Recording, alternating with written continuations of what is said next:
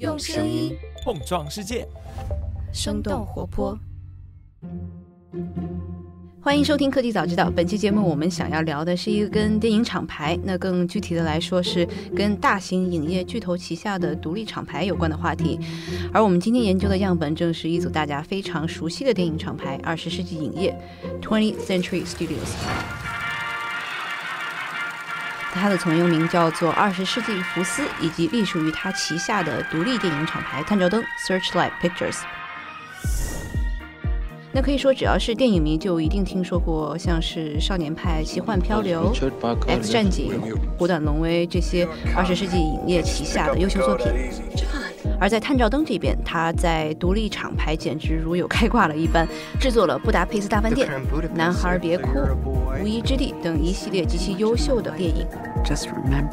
他在创立的不到三十年间，拿下了一百七十四次奥斯卡提名，四十六次获奖，其中五次斩获最佳电影。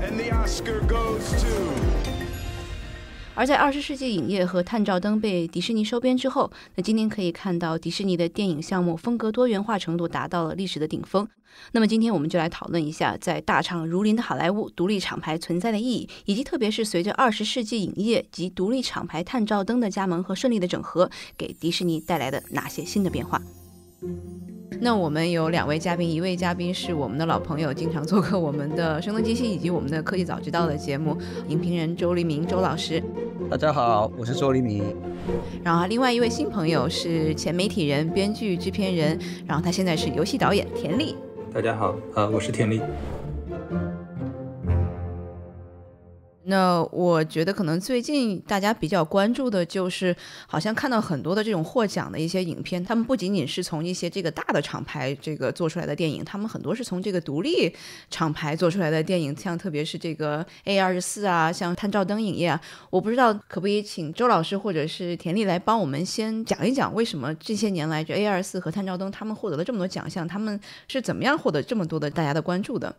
啊，因为我们一般对好莱坞的了解就是那几个大厂嘛。那大厂现在是算 Netflix 好像是六家，就是他那个 MPAA 那个协会的成员。之前的话没有那个 Netflix 的时候是有 Fox 嘛，然后在更早的时候，曾经是最多的时候是算八家。其实八家里面是没有迪士尼的，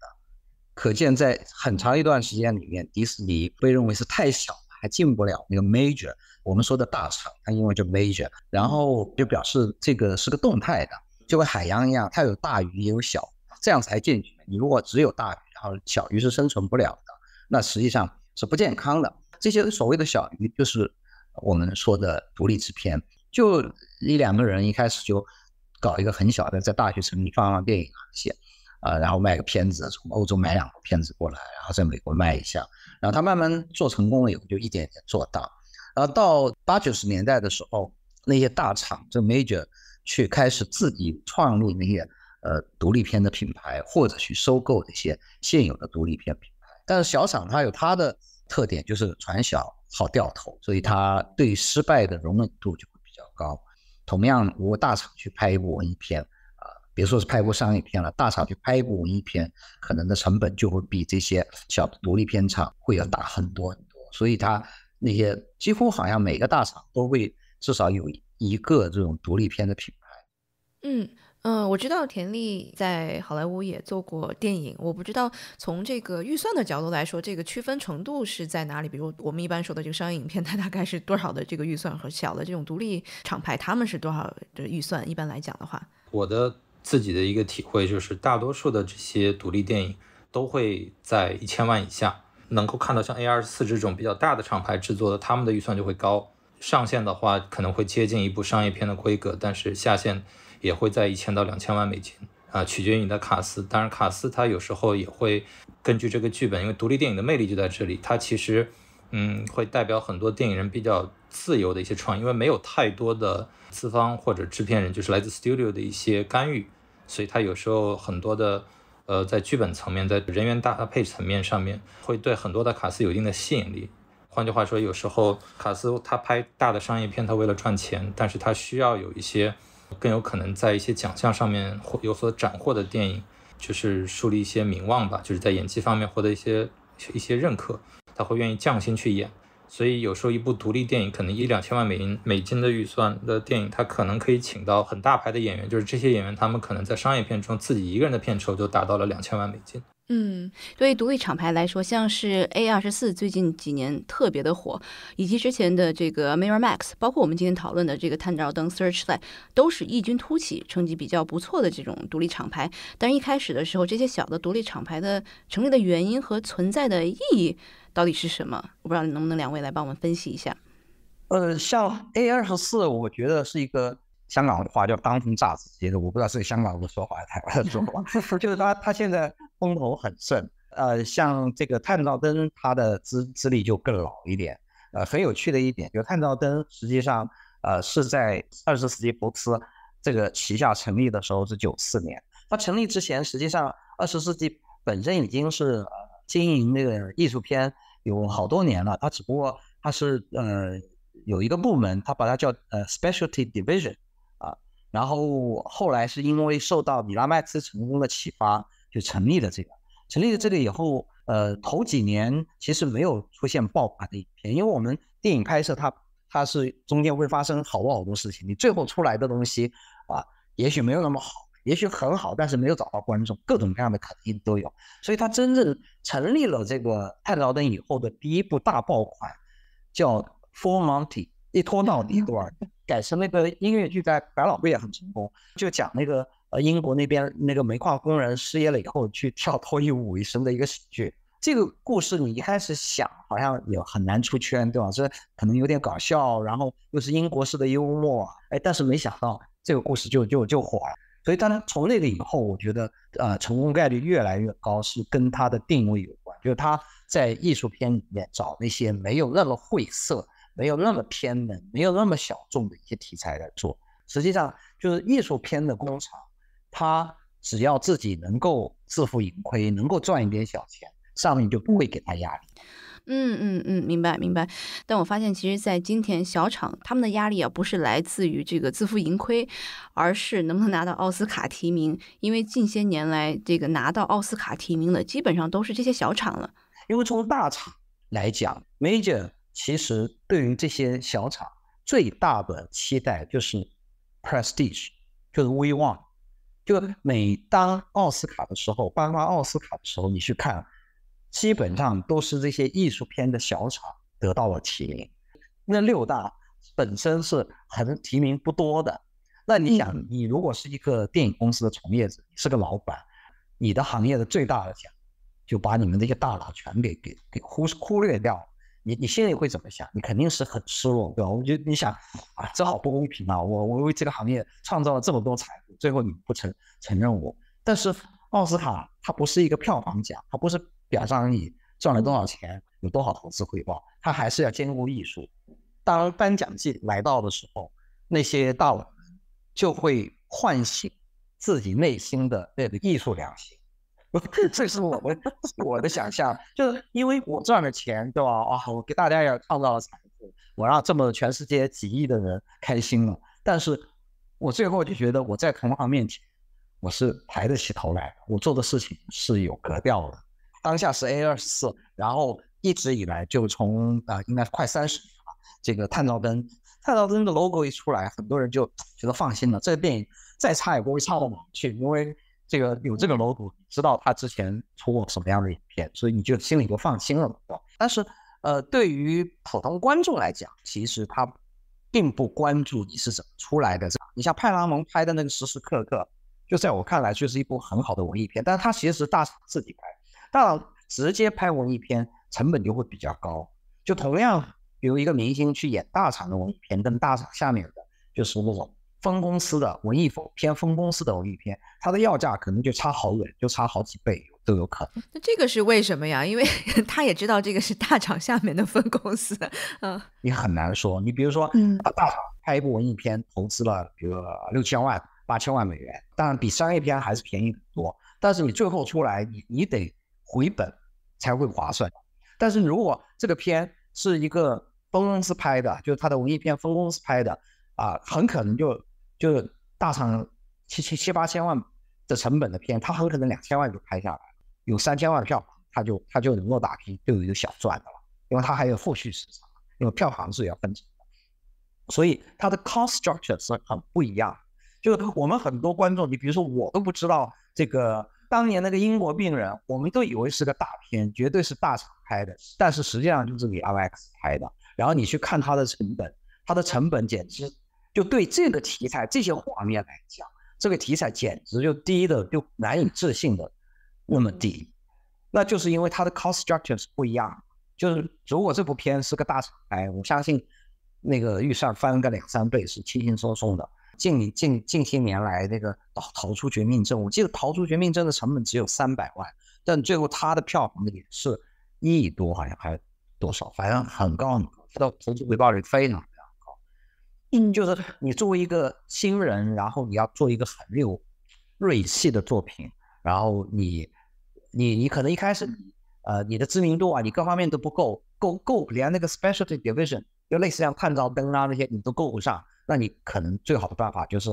以小博大，你先把它拍出来，拍出来以后，你有了成片，然后你参加那电影节也好，还是直接给那个给那些电影公司看，然后电影公司可能一下把你买断了，或者是给你分成，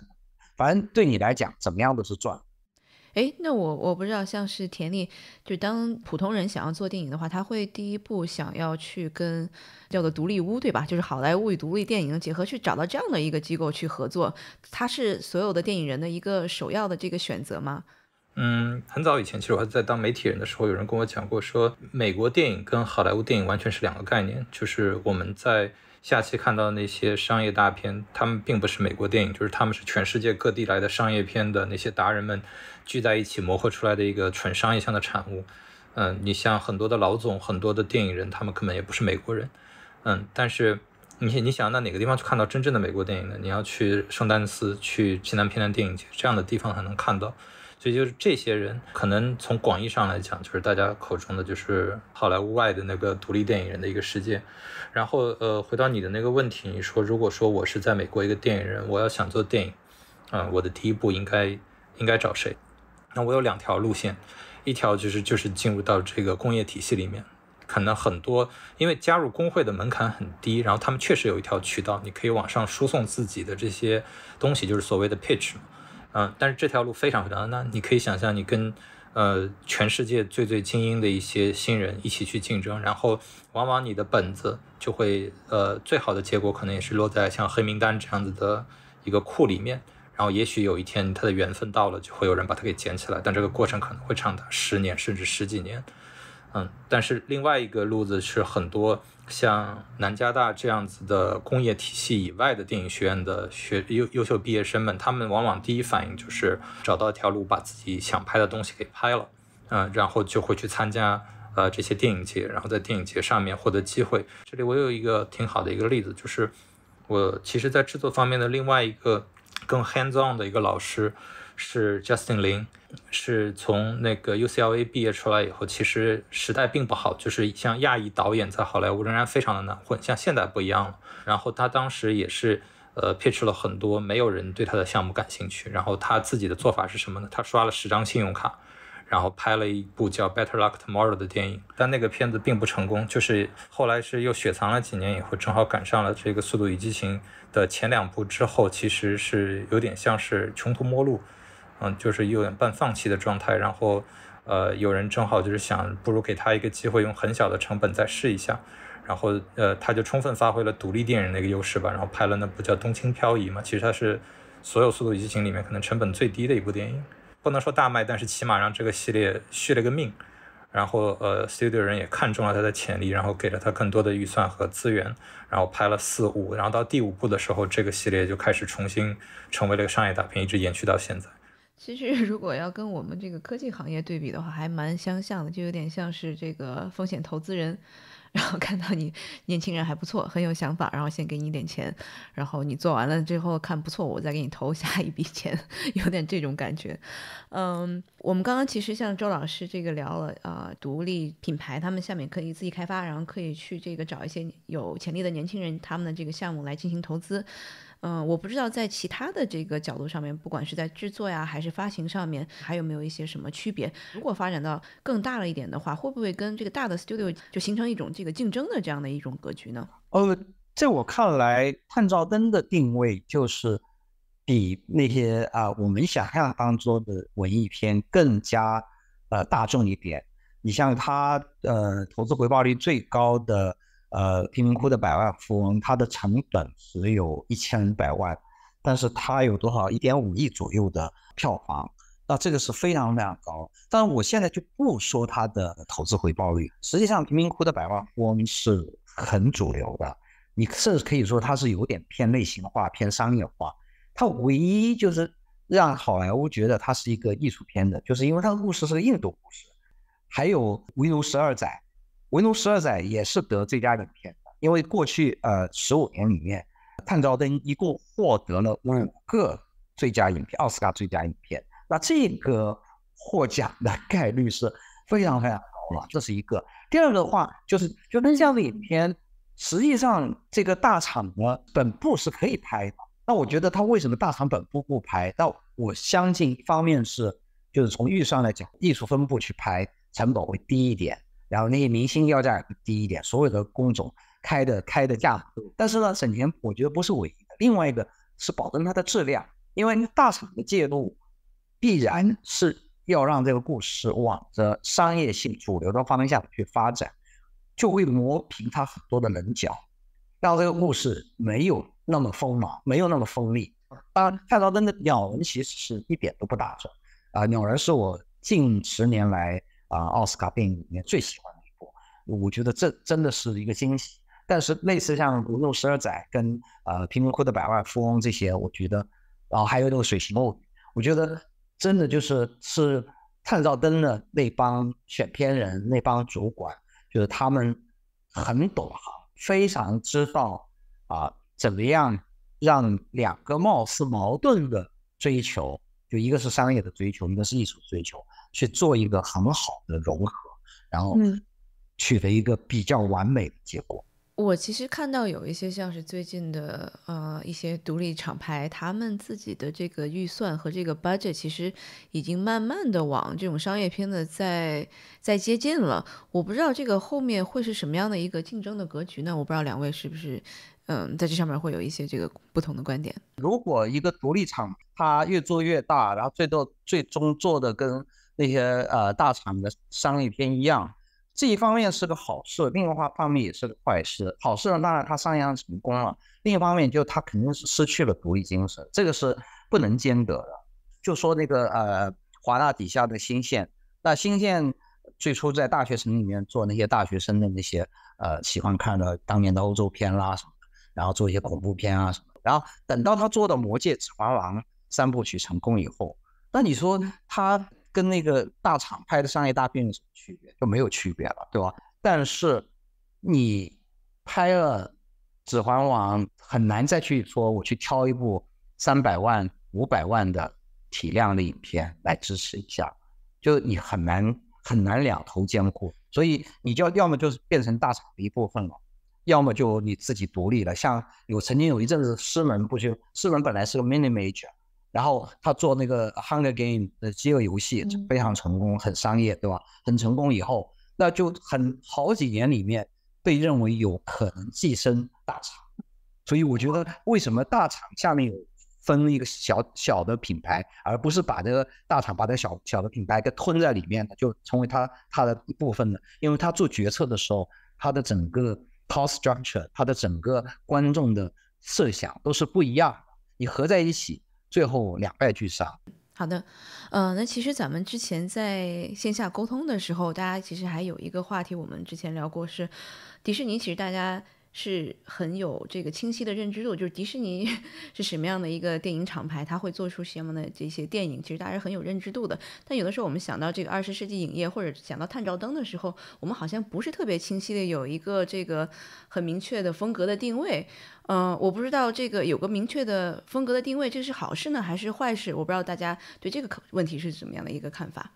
迪士尼它确实在很长一段时间内，它不是一个 major studio，很可能就是因为。呃，自己的这个品牌定位，就是大家在那个时候想到迪士尼，第一反应就是米奇老鼠，还有它的主题乐园，当然还有像白雪公主这些经典动画片嘛，它不会有任何其他的印象。大多数的电影，人们一听不会想到哦那个是不是迪士尼的。这个可能是自己企业的一个经营方向吧，但无形之中确实也有一点双刃剑的那种味道。后来就是怎么说呢？就是迪士尼现在仍然一直是保留了自己的一些大的原则，比如说我的电影它永远是 PG 十三级的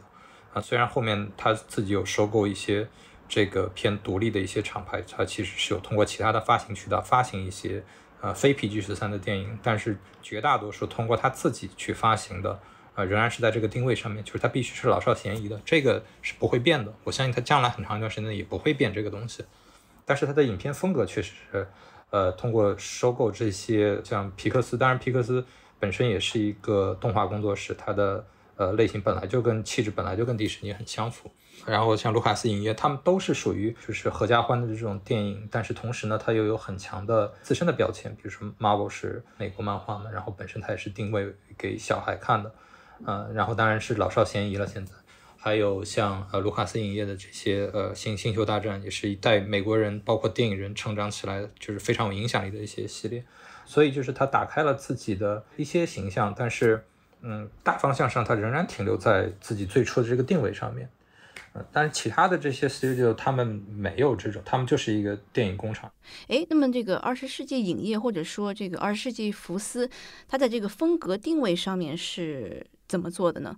像福斯，它区别于其他的来说，我觉得它可能在这方面走得更远一点。就是这什么意思呢？就是其他的，你一说到华纳，其实想到的，至少我自己想到，它的商业片类型仍然是偏漫画、偏幻想类的这种。就是我第一反应想到的就是它的 DC 系列啊什么的。但是他们的尺度跟迪士尼是完全不一样的，就是它可以放得很开，它可以走各种路线。然后像环球，我想到的是就是《速度与激情》系列啊什么的。但是福斯其实你一上来以后，你问我他们最有名的这个系列是什么？除了《X 战警》以外，我其实想不到什么。就第一反应，我确实想不到什么东西。直到我仔细去看他们的片单以后，会发现，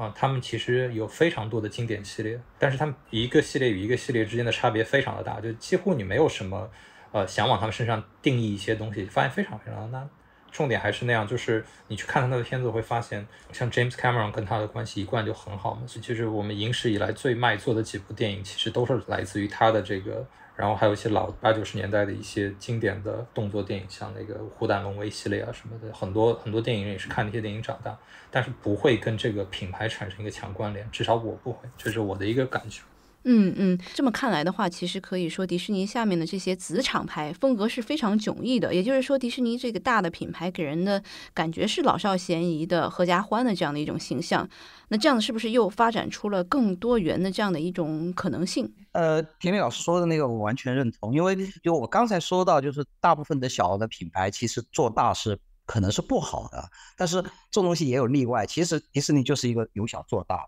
因为它一开始的定位。是很清晰，然后很多人就一说迪士尼的电影就以为就是动画片，稍微广一点就是合家欢，啊，所以这它这个定位的确是有利有弊的。利的话就很清晰，一部迪士尼电影，比如一个家长，你家里面有一个十岁小孩、八岁小孩，你都不用考虑，迪士尼电影肯定是可以带着小孩去看的啊。其实别的一些厂厂牌在不同阶段的定位不一样，呃，像田丽老师刚才讲的那个呃华纳那个，你可能想想到那个 DC 的。漫画，但早年实际上华纳拍很多犯罪片，所以很多人觉得，哎，华纳很擅长拍犯罪片。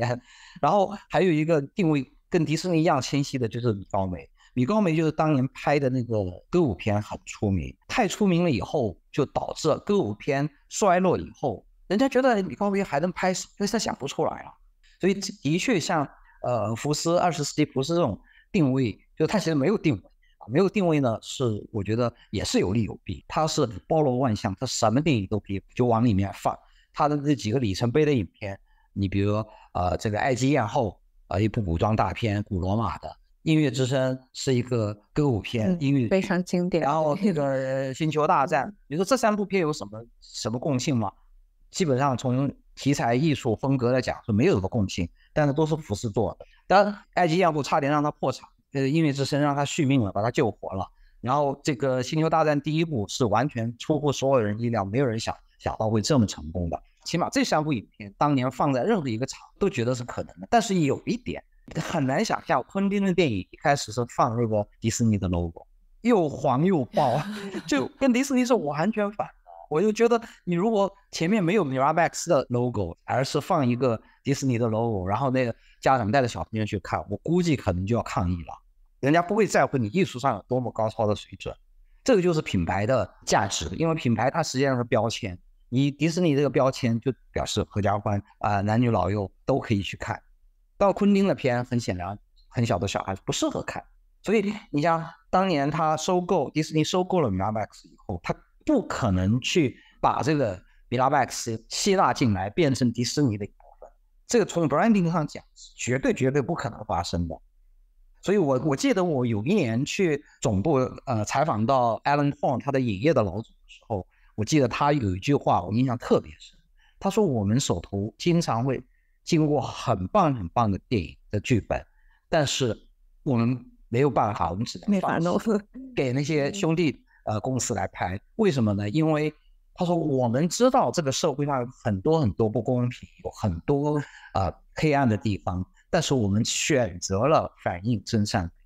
就这是我们的一个主动的选择。这不是说我们罔顾啊现实当中不好的一面，而我们知道现实当中不好的一面，但我们还是希望给大家提供美好的一面。所以迪士尼的定位跟别的厂。它其实是个互补的，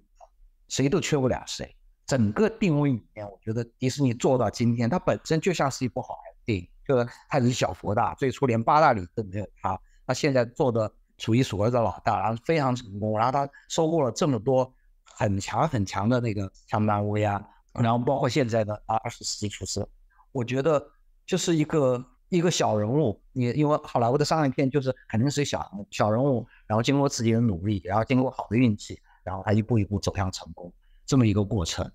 然后，但是呢，他走向成功以后，他最需要防止骄傲自满，所以他才需要不同的这些品牌来来区分他呃定位。那甚至连迪士尼本部跟 Pixar 这两个应该算定位非常非常接近了，对不对？我觉得他还是保留 Pixar 的这个牌子，他的自己的运营人员之间是他有互动。那我觉得这也是一个。好事，因为 Pixar 它可能更偏那个啊硅谷一点，起码 Pixar 头十几年出来的东西给我们耳目一新的感，跟迪士尼的经典动画定位是有点不一样。所以我觉得这个就是它，即便在它一个同一个公司底下，它可能还是需要引进一些或者说保留一些竞争的机制，让每个品牌的人员都能够发挥出自己的最大的特长。来创作出最好的作品，而不是说互相消耗，或者说哎，我只有一个 vision，你不管来自什么背景，都要拍同一类影片。因为我们知道这个啊，文艺创作很重要的一点就是百花齐放，你要保留这个多样性。但迪士尼的多样性，它实际上是它有一个总的一个大的框架，就是可加换的框架。但是如果是一部涉及的这个人性黑暗的影片，那你放在 Pixar 也不不适合，放在别的地方也不适合。但你放在二十世纪。是适合的，因为二十世纪它以前是一个包罗万象的一个品牌，它可以放任何东西。你如果是一个大导演，类似像卡梅隆这种，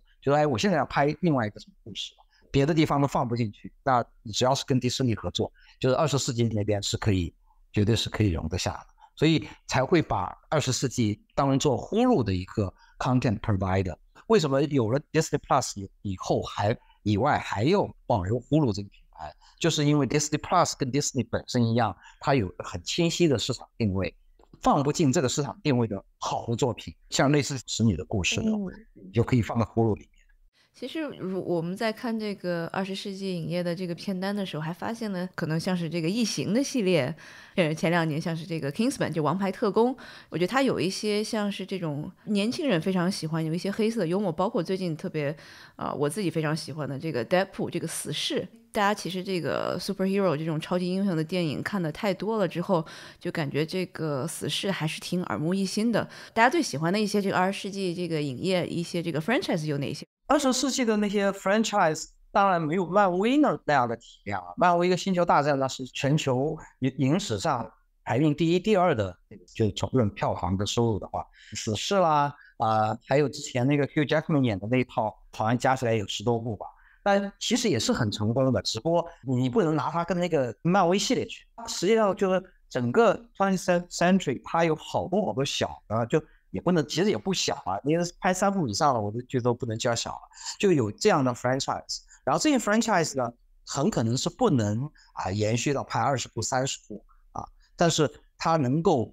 在这个呃有限的空间里面，几年、这十年或者二十年里面做出这样的成绩，那是已经其实是已经非常非常非常棒。它因为它品牌效应不显著，所以啊很多人看完以后也不会记得啊，这是部。呃，二十世纪的影片，但是它的成功的影片呃非常的多元化，而且你要仔细追究的话，就是刚才说到像《死侍》啊这些片，它带有一种黑色的幽默。但其实这个超级英雄电影不断发展，一开始出来是就很正经八百，然后你慢慢慢慢大家觉得，哎，我同的影片看多了，我看腻了啊，但是我好像还喜欢看这些影片，那你就从创作者的角度，从篇章那边，他就是想主题变奏。同一类的故事，但是我给他这儿加点新的，那儿加点新的，让现在的那个新的一批观众从这些老的故事模式发现新的乐趣。对，确实是这个创新精神，还是我觉得周老师说的非常的对。因为我自己是爱看这个 超级英雄的电影，但是我先生非常的这个不太喜欢。然后我拉着他一起去看《死侍》的时候，他还是非常心里不愿意的。看完之后，这个大呼过瘾，觉得我那天电影选对了，就是这种感觉。其实，此事它的成功其实跟现在叫二十世纪，对吧？就是在我看来，它没有一个特别必然的联系，因为这只是正好因为当时 Marvel 自身的存活有点问题，所以就是卖了很多自己旗下的这些系列，像 X 战警，因为死侍是 X 战警之一嘛，就把这个给卖给了二十世纪，呃，然后把蜘蛛侠卖给了索尼。就是为什么 Marvel Studio 自己一直就没有拍真人，然后这一点一点现在艰难的，就是跟索尼那边达成了合作，然后像现在，呃，二十世纪回归这个旗下以后，那将来确实有很多的可能性。而死侍它本身是在 Marvel 系列里面，嗯，定位很特殊的一个角色，它本身就是专门用来打破第四堵墙的一个角色，所以其实相当于福斯一直有这么一个东西，但这个东西的核心创意并不是来自于他们，而是来自于 Marvel 自身的这个漫漫画原作。他们只是找到了一个很好的时机来把它给拍的，拍的当然是很不错，呃，包括那个金刚狼，它作为 X 战警的一个支系，它慢慢的也是渐入佳境。前两部拍的很不好，但是最后一部 Logan 也是属于就是可以说是把商业片拍出了文艺片的那种境界。就是福斯的片单上面，它的这种 franchise 多半都是，呃，一部电影的成功，然后出于商业的考虑，我在开发它的续集。它不是上来就是一个已经很成熟的东西，像迪士尼旗下的这些大多数都是属于这种，它本身已经有一个非常庞大成熟的一个品牌体系，然后只是在这个库里面一步一步的去拍。就我自己个人，像二十世纪下面的这些系列，对我自己童年影响很大的，其实有很多。虎胆龙威系列，它基本上是这种孤胆警察的一个，既是开山之作，也我觉得也是一个巅峰之作。之后基本上一直被模仿，也没有再被超越过。然后像小鬼当家系列，还有一个异形嘛，就是他们都是属于，呃，一部成功了以后再去开发它的第二部、第三部。但是这其实是在好莱坞很普遍的一个商业模式，就是会把一头牛给挤干、榨干那种的。所以就是到哪部不赚钱了，他就不会再往下拍。也许再过十几年、二十几年的时候再回来啊，可以重启一下，或者找到一个新的角度。嗯，像异形系列，我觉得是个很有意思的一个点。它的前三部找了三个风格截然不同的导演，而且每一个都是在后来大红大紫的人。第一部是那个 Riley Scott，他其实跟福斯的关系也很好。然后，呃，第二部是 James Cameron，他把一个这种空间恐怖片拍成了一个科幻动作片。然后第三部是那个 David Fincher，本身在好莱坞也不是一个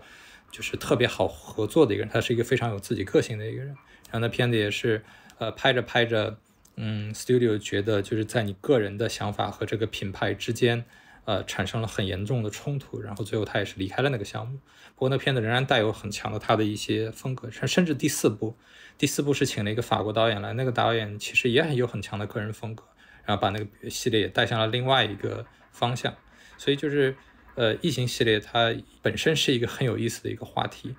到近两年。就是我刚才说的那种情况，它中间隔了冷却了大概十几年，然后就近两年，但这不是不是二十世纪的问题，是整个好莱坞的问题，就是商业片到了一个很严重的瓶颈，人们就是越来越在一个固化思维里面去找一个很稳妥的赚钱方式，不停的挖掘这种已有的像 Marvel 这样已有的库，或者说是当年呃很成功的品牌，把它给呃说的不好听点就是炒冷饭嘛，就是重新开发一下。我觉得刚刚张老师有一个点，我觉得可以咱们再展开一下，因为迪士尼收购了二十世纪福斯，现在叫做这个二十世纪影业嘛，它有了这样的一个新的厂牌的话，其实就让迪士尼有了很多的新的可能性，因为传统我们都知道这个迪士尼它的这个。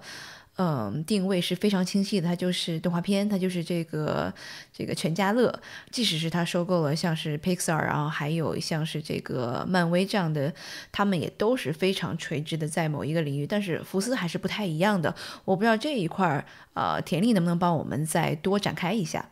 其实还好，我觉得刚才周老师概括的很精确，就是这个趋势其实从我自己的感受是从并购皮克斯那刻就已经开始了。就是再往前的时候，就是完全由 Disney Studio 自己拍的那些电影，有一个非常刻板的印象，就是童话故事改编的，有些就是直接是当年自己的动画 IP 改编的真人电影。然后有一个《加勒比海盗》是根据乐园里面的一个项目改编的。然后皮克斯被并购以后，呃，刚才邱老师提的也很精确嘛，就是它有一定的科技，就是硅谷那边的一些特色，因为呃，早期的时候。乔布斯还是皮克斯的这个这个 leader 之一的时候，确实他会带入很多这种文化上的东西。当然，这个趋势很有意思，就是在在今天的皮克斯跟迪士尼动画之间，其实区别没有那么大，因为 John Lasseter 他本身同时是两个 studio 的头，而且他个人是那种在创作方向上有非常强势的一个一个人，所以在这块儿反而有点磨平了两个 studio 之间的这种区别。然后在后面就是非常大局的扩张，几乎几年收一个，就是从。呃，Marvel，然后 Marvel 当时的一个策略也很有意思。有一件事情印象很深，当然现在那个 marketing 的主管可能已经不在迪士尼了。就是我头两次去迪士尼总部的时候，跟他聊这个天，我说作为一个就是 Marvel 电影的一个粉丝，我很想知道什么时候我们能看到蜘蛛侠呀，像这个 X 战警、就金刚狼这些人能够，因为他们本身也是复联的初始成员之一嘛。然后当时他自信满满，但是又带一点有一点俏皮的跟我说了一句 Not yet。就是感觉好像这天早晚会来，然后果然这天就来，所以迪士尼一直在下一盘非常非常大的棋，就是从自身一开始通过一个很强的一种品牌印象，先找到自己的方向吧，站稳，然后一点点在这个大的框架下去扩展各个子品牌的可能性。福斯就是相当于，呃，回到我们刚才上一个话题，就是福斯它没有一个特别强的呃品牌印象，这就相当于。呃，我开了一个大类，我不是只收购了一个 Marvel 这样子一个卢卡斯影业或者一个皮克斯这样子的一个小类别，因为他们每一个分别带有很强的自身的一个小品牌的那种感觉，嗯，然后现在你收收购福斯以后，相当于我有了开了另一个平行宇宙似的，我有无限的可能，我可以把像像小鬼当家那样子很符合我自身气质的，我可以放在迪士尼，我也可以放在福克斯，呃，二十世纪。但是我现在像《白日梦想家》这样子的，呃，也有一个地方可以放。当然，我同时也可以放一些就是尺度大一点的《黑天鹅》啊，像《异形》这样子的吧，它都可以有很大的一个空间、一个平台去进行支持。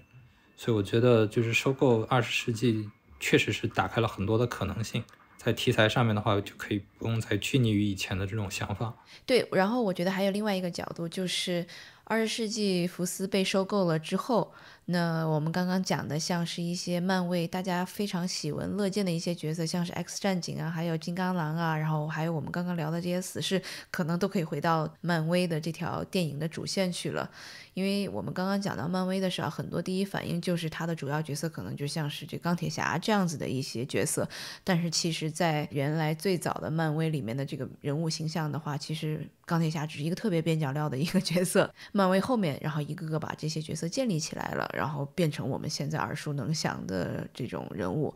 那另外的有一个点就是，可能就漫威来说的话，在其他的厂牌下也出现过有一个好玩的例子，就是那个超能陆战队。这个动画片，那大家在讲超能陆战队的时候，大家就会反映说，哇，这个大白好可爱，然后就是一个机器人的这样的一个角色。但是大家可能没有想到过的是，大白其实是原来最早在漫威里面的一个角色。那如果你要去仔细的去看超能陆战队的话，你会看到有这个 Marvel Studio 的一个一个 logo 在电影里面。呃，是的，呃，那那个片子当时我也有去 studio 里面进行采访，然后当时我也很意外，就是这其实也是 Marvel 旗下的一个算是一个子类吧。嗯，这点其实 Kevin Feige 在第三部钢铁侠的时候来过中国做过活动，说过这个事情。就是一开始的时候，呃，很多人气非常高的 Marvel 角色，很遗憾的是版权并不在自己手里嘛，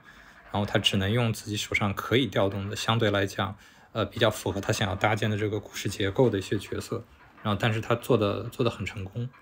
呃，所以就会后来也打开了很多的可能性。现在迪士尼它手下有这么多优秀的厂牌，然后这些厂牌有些是有很明晰的定位，那有些的话可能更加包容性强一点。大家肯定会想到，就是让那些漫威的人物怎么样联动，因为之前授权给不同的公司了，那现在其中一些公司啊又回到迪士尼的大旗底下了啊，我觉得这个是是很好的事情。但是呢，我觉得这个事情也可以从另外一个角度去想，因为我们知道电影呢，它因为呃，这个风险比较大嘛，所以你去拍电影的时候，不同的项目它的冒险系数是不一样的。那有些项目大家就要求稳，所以它要保证啊出来一定有多少多少的观众。那像这些的话，啊，通常是大的那个牌子去做会比较合适。但反过来，我们也知道，就是即便像超级英雄，你如果大家全是往大的方向去做，它可能会久而久之产生这种同质化。所以呢，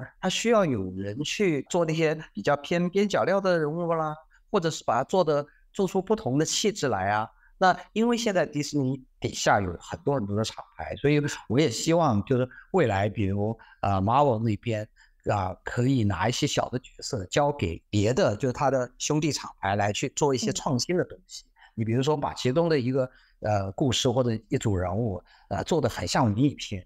或者是很很偏门的那种，就是那种很敢创新的路子去试一试。因为你在大厂大厂牌下面很高的投资失败了，那是伤筋动骨的。但是你交给小厂牌去做，就是自己的兄弟厂牌，它失败了其实还好，就损失不会很大。但是成功的话，它可能就培育出一条新的路子来。这样的话，它不同的厂牌之间啊，会有一个你来我往更好的一种互动。就小的那个厂牌可以为大的厂牌做一个孵化器，而大的厂牌呢，可以给小的厂牌提供一些素材的选择。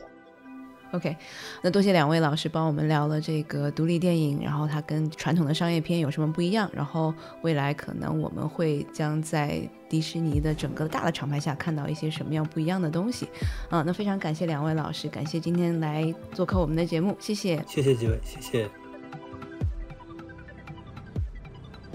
这期 What's Next 科技早知道就到这里了。听完之后，如果你有任何的想法，欢迎在评论区里面给我们留言，我们每一条都会认真的看。如果你喜欢我们的节目，请记得给我们五星或者好评，分享给更多的朋友，也会对我们非常有帮助。你也可以单独写邮件给我，邮箱地址是听 t i n g at 声点 fm，我都会一一回复。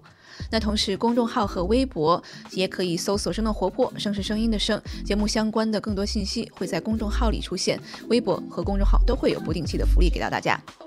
如果你想要跟我们更加紧密的讨论和分享，或者是想要认识和你一样有求知欲的新朋友，可以加入我们的微信群。进入听众群的方法是在公众号文章中扫码添加，或者是公众号后台回复“科技早知道”即可获取邀请码。期待你的加入，我们下期见。